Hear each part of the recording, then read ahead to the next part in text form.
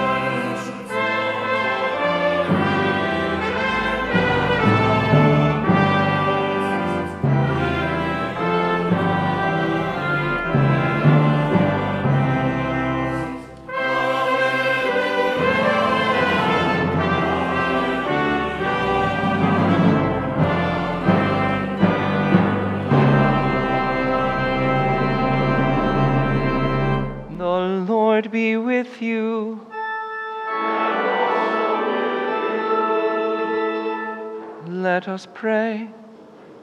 Almighty God, you have knit together your elect in one communion and fellowship in the mystical body of your Son, Christ our Lord.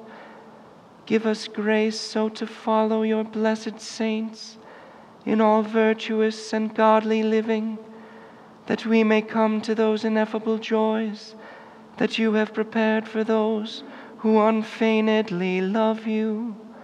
Through Jesus Christ our Lord, who with you and the Holy Spirit lives and reigns, one God in glory everlasting.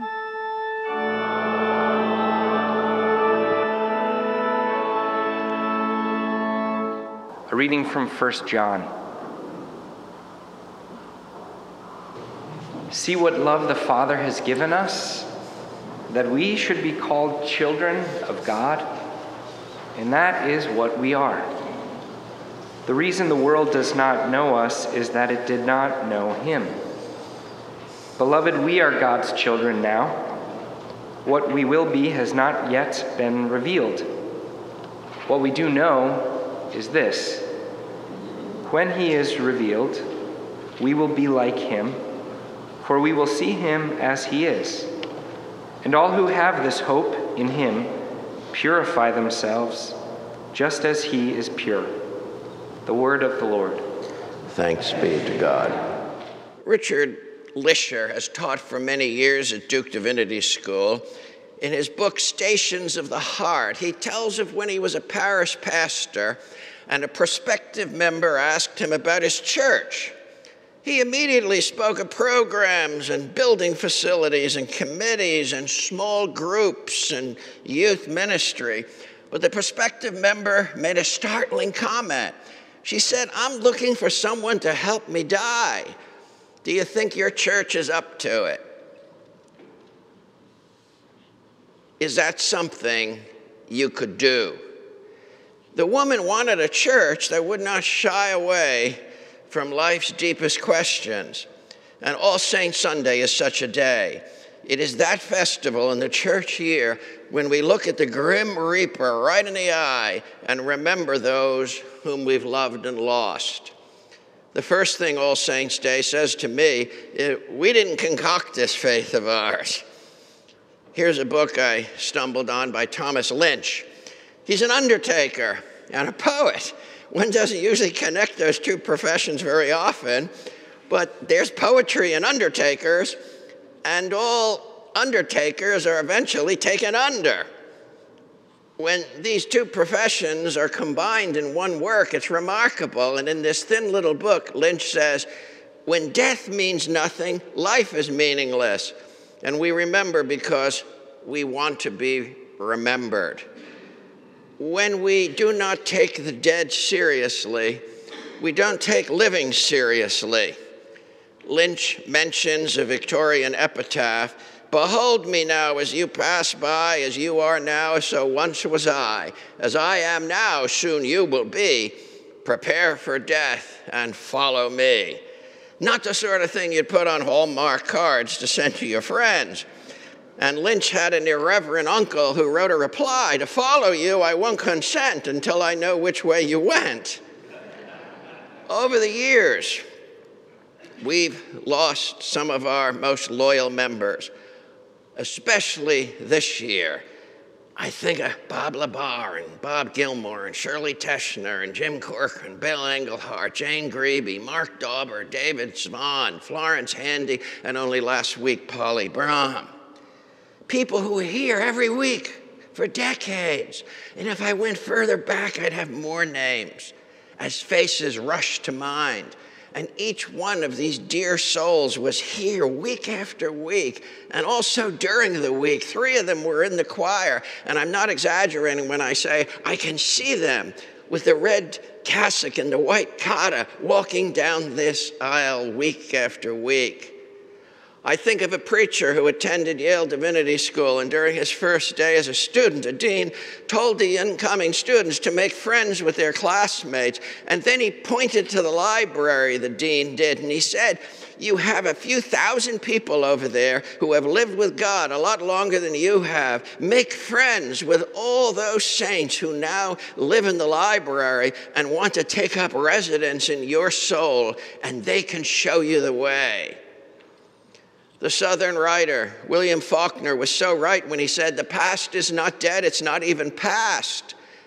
And today I think of coaches and teachers and teammates and friends more and more every year who are part of the company of heaven and continue to cheer me on. I think of a woman who said to me once, I'm closer to my grandmother now that, than when she was alive. I, I think I know what she means she now has a, an acute awareness of her grandmother's wisdom that maybe she didn't have years ago.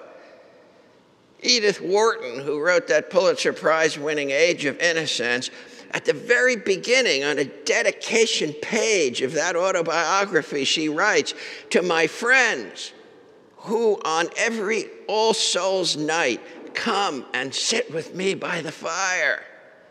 Those whom we've loved and lost, they're still so real to us. I read in Down East, the magazine of Maine, an essay written by a man who was raking leaves this time of the year. He said he does it out of duty, but for his dad, it was a delight that took weeks. At the end of the essay, Marcel is thinking about his dad who died a few years ago, and he says, I rake, and as the breeze gently rustles the leaves, I listen for my dad's blessing. What I'm suggesting on this All Saints' Day is this day is about the dead, not just the living. It's for them and to them that we look for meaning in life. This is why the music and the prayers and the liturgy of All Saints' Day is what it is. It's not meant to tickle our fancy or give us an emotional kick or a momentary thrill. It's made, meant to take us to the depths. It's meant to teach us how to live and how to die. You will recall Archbishop Oscar Romero. He was murdered by the government while celebrating Mass in El Salvador. At the altar, celebrating Mass, they shot him. And it was his practice during Mass to read the names of those members of the community who had disappeared during the previous week, tortured, murdered. And during the prayers, the names of those murdered would be spoken one after another. And the congregation would respond to each name by boldly proclaiming, Presente, present. No, we didn't concoct this faith on our own. The second thing on All Saints' Day that I want to remind you of is that we're all homesick for heaven.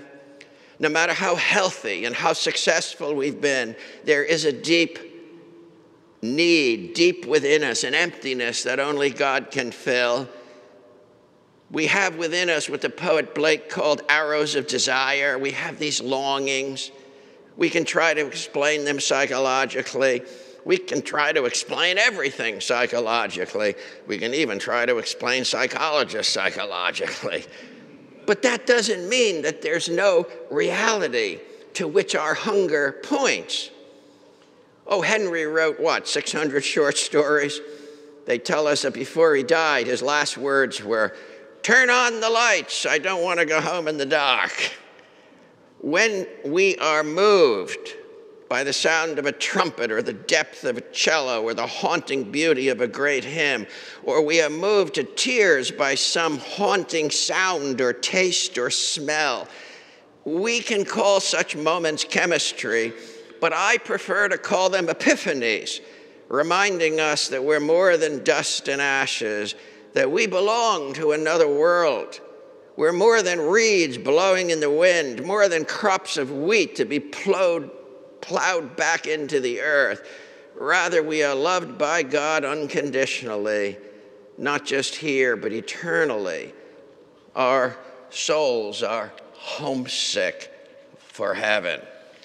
And that brings me to a big word today, and that word is hope. Yes, it's important to remember. And to some degree, that's the easy part. But All Saints' Day is not just about remembering, it's also about anticipating. Remembrance and anticipation belong together. And that's what a sacrament is all about. We've been watching baseball, most of us have, I guess, these last few weeks. And it reminded me of an interesting article I clipped out of the Wall Street Journal.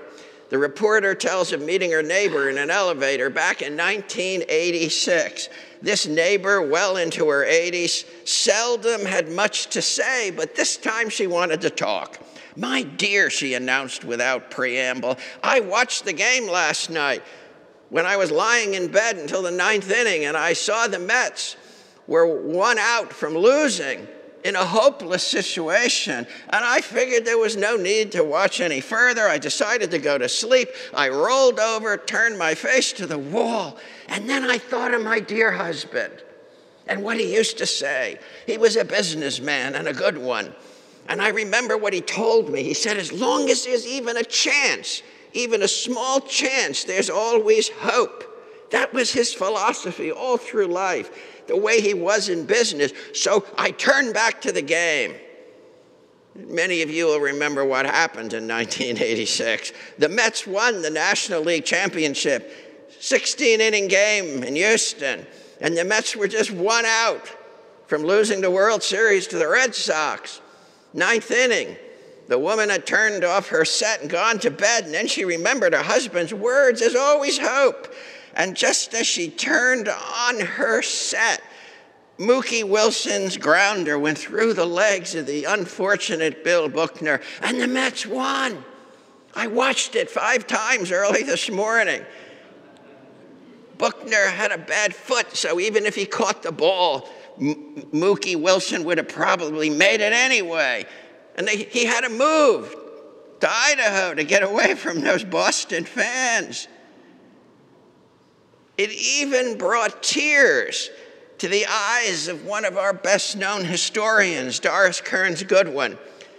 She spoke at our little library in Maine a few years ago, and I spent too much time at the beach, where I could have met her and talked with her. But in her little book, Wait Till Next Year, this is what she writes As I sat in front of the TV in tears, my two boys rushed to console me. Don't worry, Mom, they'll be next year.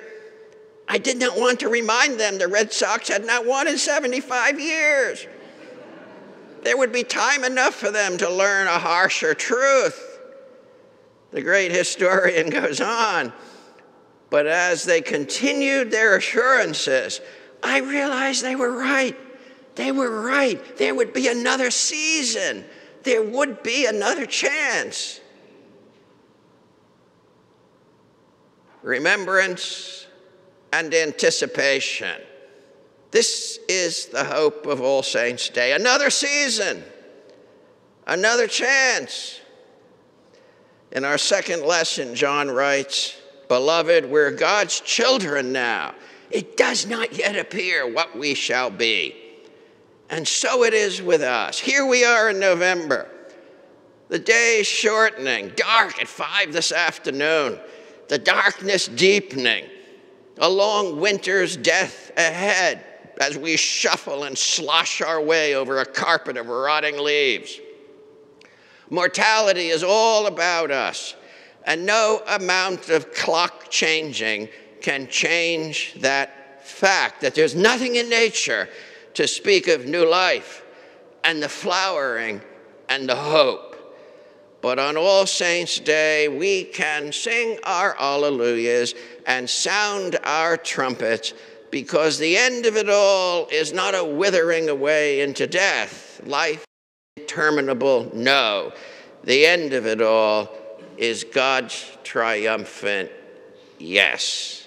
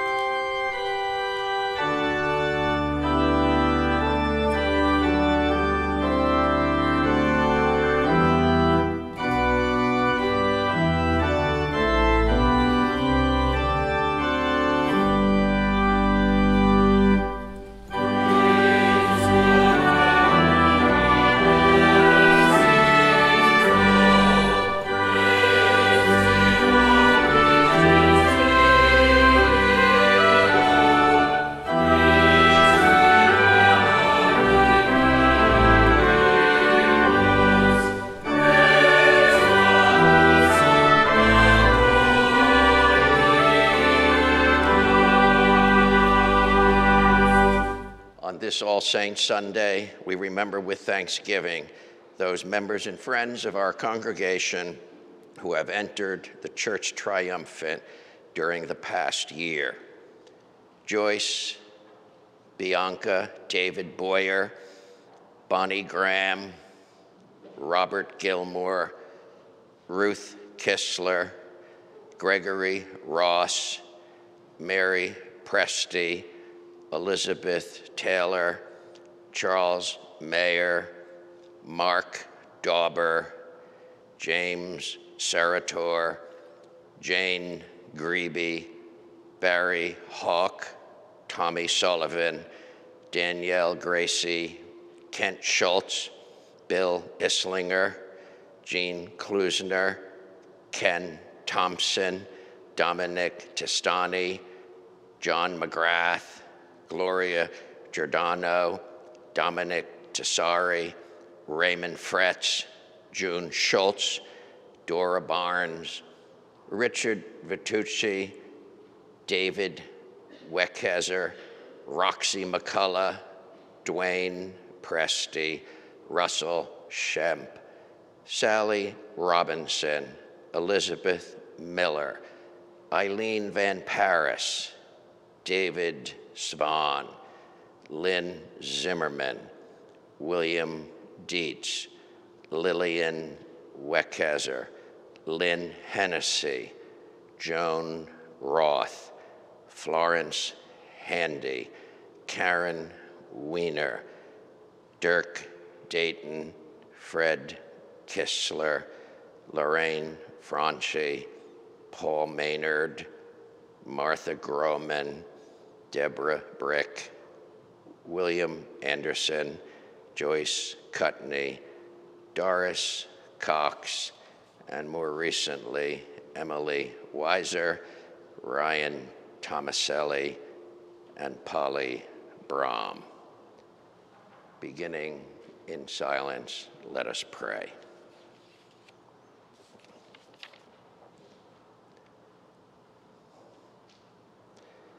Eternal God, make this day a day to remember the unseen cloud of witnesses who compass us about, those who in every age and generation witness to their faith in life and in death, those who served others at the cost of pain, persecution, and death, those for whom all the trumpets sounded as they passed over to the other side those whom we've loved and who have gone to be with you and whose names are written on our hearts. Help us to walk worthily of those in whose unseen presence life is lived. Help us to have in our lives their courage in danger, their steadfastness in trial, their perseverance in difficulty, their loyalty when loyalty is costly their love, which nothing can change, their joy, which nothing can take away. So grant to us in your good time to share with them the blessedness of your nearer presence, that we may also come to that life when all the questions are answered, when the tears are wiped away, when we will meet again, never to be separated from them, those whom we have loved and lost a while when we shall be forever with our Lord. So grant to us in this life never to forget those who have gone before, so that in the life to come we may share their blessedness through Jesus Christ our Lord. Amen.